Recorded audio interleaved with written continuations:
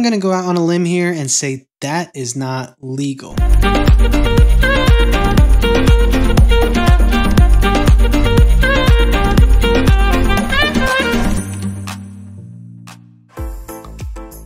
The latest Netflix sensation, Squid Game, is taking the world by storm. This worldwide phenomenon is a gory, brutal, at times humorous, gut wrenching, and timely exploration of wealth disparity and human nature. But in addition to some existential questions, I couldn't help but wonder whether the show got the law right. Why are the contestants signing contracts to essentially murder each other? Would any of this hold up in court? Would our main character Gi-Hun win a custody battle to keep his daughter from leaving the country? Is slapping someone in public for money legal even if they agree to it? In this video, I look at this latest pop culture sensation through the prism of the law. Did Squid Game get their law right? Would you like to know more? Stay tuned and find out. First, let me preface by saying I'm not going to get into some of the more obvious crimes and other laws that are clearly broken throughout this series. You know, things like the murder, theft, embezzlement, organ harvesting, kidnapping, battery, intentional infliction of emotional distress.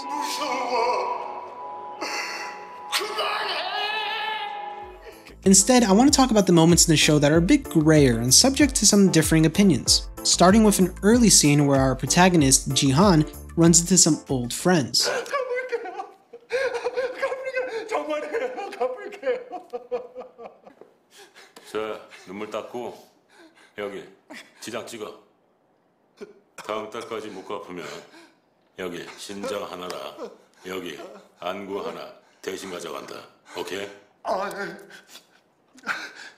그래 그래 거기 구. Okay, they're not really friends. In this scene, Gi-Hun seemingly signs away his personal rights, including the rights to some bodily organs. So first question is whether a bloody fingerprint makes for a valid legally enforceable signature. While the short answer is probably. Pretty much anything can make for a valid legally enforceable signature as long as it's identifiable to the individual and it represents their intent to be bound by the contract. I would even argue a bloody fingerprint isn't the worst kind of signature. I mean, after all, it's pretty easy to confirm in court as authentic, given everyone has their own unique fingerprint. On the other hand, it would be quite easy to get someone's signature via a fingerprint even when they're asleep or unconscious, which may be why fingerprints are generally disfavored as a form of signature. It's also not as difficult to forge as you might expect. And after all, we do kind of leave our fingerprints lying around everywhere. But you also have to consider different institutions or parties can impose their own signature requirements to a contract. Whenever you make an offer, you can dictate the method of acceptance. So if you, for example, say, in order for you to agree to these terms, you must sign your full legal name in blue ink. Well then if the other party signs in red ink and uses a nickname, you likely wouldn't have a valid acceptance, at least in theory. The key, the key point is that the offerer is the master of their own offer. They can set the terms of how or when you're supposed to accept their offer. Now, there are situations, however, where fingerprint signatures might actually be more readily accepted, such as when a person has a disability or is otherwise unable to sign their name. It is common practice for individuals to sign using an X, for example, if they are illiterate. In South Korea, to my limited understanding, official documents are often signed using a stamp called a dojang, which has to be registered in order to be valid in certain cases. In the case of someone not having a registered dojang, I couldn't confirm this, but some of my preliminary research indicates that a fingerprint signature is a possible common substitute. In either case, it's very likely this signature could be legally enforceable. Keep in mind, not all contracts, at least in the US, even require a signature to be binding oral agreements are enforceable in many cases. Also note, different countries have different signature requirements, so this might not be the law of the land in somewhere like Europe. There's a much bigger problem here though, and that's whether this would be a valid contract with or without the signature issue. Well, what do you need to make a contract? You need an offer, you need acceptance, you need a meeting of the minds, you need consideration. So we have our offer. The offer to Gi-Hun is to receive 30 extra days to get the money together in exchange for the loan shark receiving possibly the opportunity to get Gi-Hun's bodily organs if he fails to pay by this extended deadline. So this also constitutes our consideration on both sides. Consideration is essentially something of value. Both parties to a contract need to be giving something of value for the contract to be enforceable. There's a big distinction in, the law about contracts versus one-sided promises promises are a lot harder to enforce because there isn't an exchange of things of value. But I don't really want to get into all that. It's a whole nother topic that I could talk about for days. So we have our acceptance in the form requested by the offerer as Gi-Hun stamps his fingerprint on the paper and he does this actually somewhat voluntarily by asking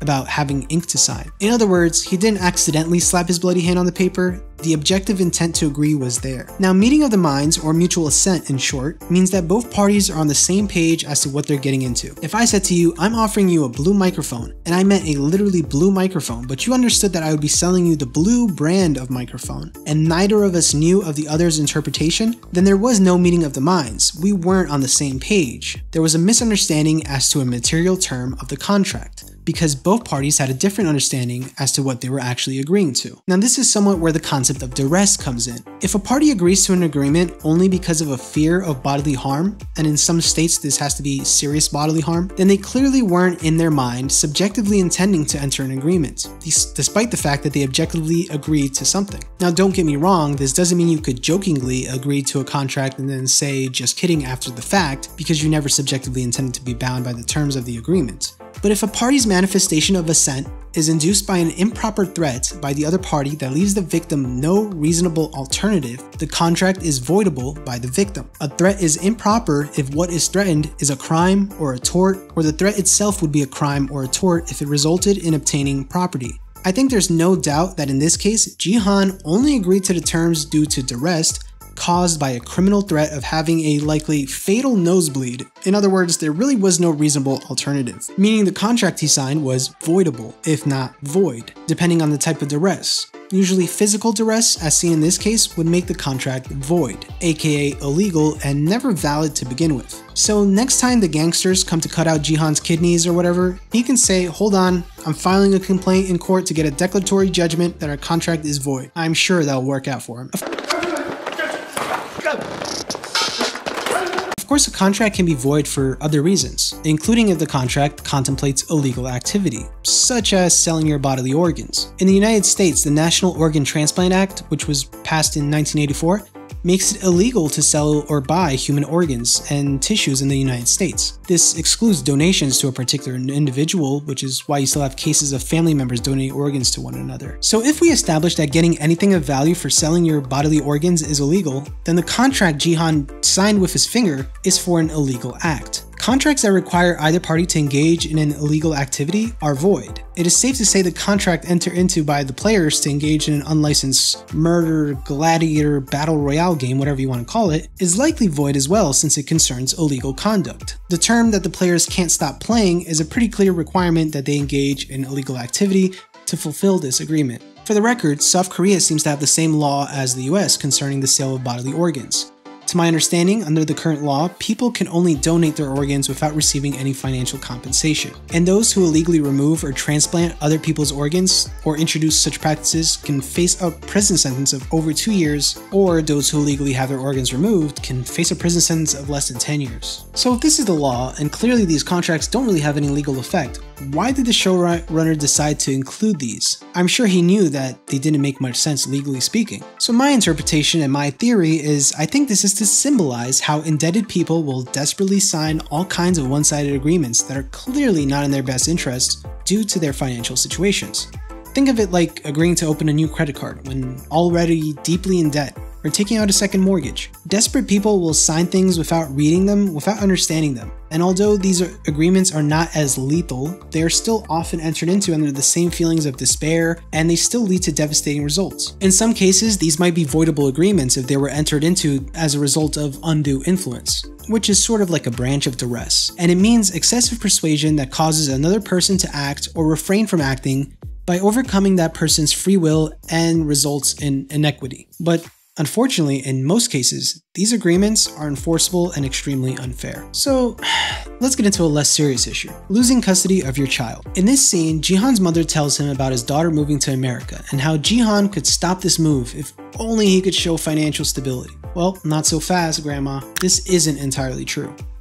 In the United States, determinations of custody are usually based on state laws, but in most cases come down to the same basic principle what's in the best interest of the child? So let me first look at this question by considering the laws of California, since the daughter is, after all, moving to Los Angeles. However, just know it is unlikely these laws would actually apply in this situation. Rather, South Korean law would most likely apply, but US law might be easier to explain. In the United States, a parent can have physical or legal custody. Physical custody pertains to who the children live with while legal custody pertains to whether a parent can make important life decisions concerning their child's upbringing, such as decisions relating to healthcare, education, and welfare. Generally, a parent who has a permanent order for sole physical custody can move away out of the country with the child, unless the other parent can show that the move would somehow harm the child. While in situations where parents have joint physical custody, the parent that wants to move with the children has the burden to show the court that the move is in the best interest of the child or children. In other words, the difference isn't who has the burden of proof and who needs to file something with the court. It's a much harder battle for Gi-Hun if he doesn't have physical custody, and from what we see in the show, it would seem Gi-Hun does not have physical custody. Typically, parents with joint physical custody spend about an equal amount of time with their children, although it doesn't have to be an exactly equal split. It seems more likely Gi-Hun only sees his daughter on special occasions, and therefore only has joint legal custody, if that, and definitely not physical custody. Now, according to California law, the mother of Gi-Hun's child would need to provide notice to Gi-Hun 45 days prior to moving so that Gi-Hun would have an opportunity to object and to allow the parents to work out a new custody or visitation agreement. I imagine South Korea has some similar notice requirement as well. So if Gi-Hun were to object, he would need to show that the, to the court that the move would be a detriment to the child, and the court would consider whether the move was in the best interest of the child, along with something called the LaMusga factors,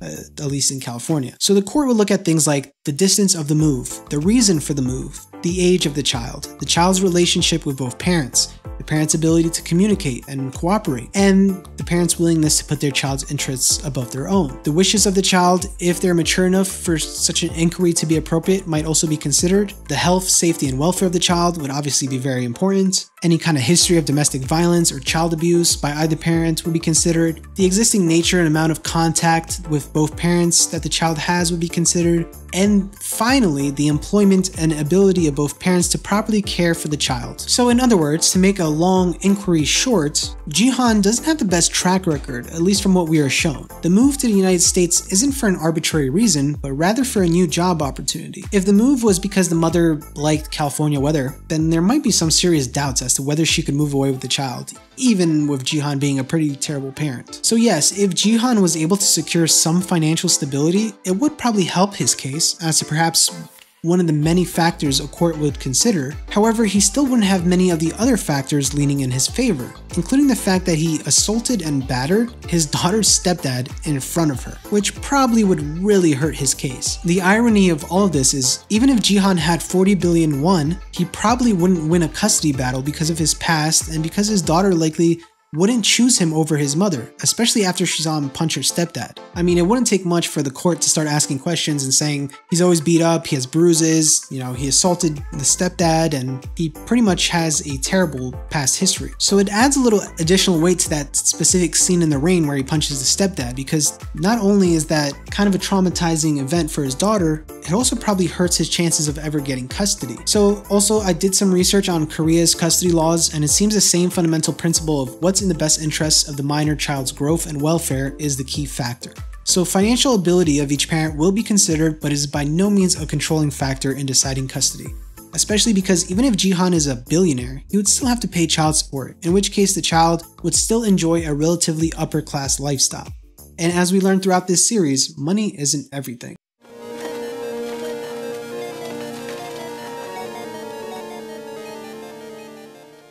Okay, I'm gonna make this one short. Most forms of gambling in South Korea are illegal. Betting thousands of won in the middle of a metro station, definitely not legal. What's even crazier, South Koreans can't even gamble abroad. Yeah, that's right. So, Jang Duk-soo, traveling to the Philippines to gamble at a casino, yeah, he could be facing three years in prison just for going on a vacation and playing a game of blackjack. Foreigners visiting Korea, however, can gamble, and there's actually a few casinos made just for foreigners in South Korea. Kinda weird, right? Which is sort of the story of Squid Game. We can see foreigners as the ones gambling at the expense of Korean citizens. Although things like betting on horses and other races is generally permitted for South Korean citizens. But these types of slap games are probably highly illegal, and the very covert Squid organization sure is taking a huge risk by gambling in public. As far as recruiting tactics go, they could have done better. It makes you wonder how deep does this whole conspiracy go? I guess we might find out in season 2.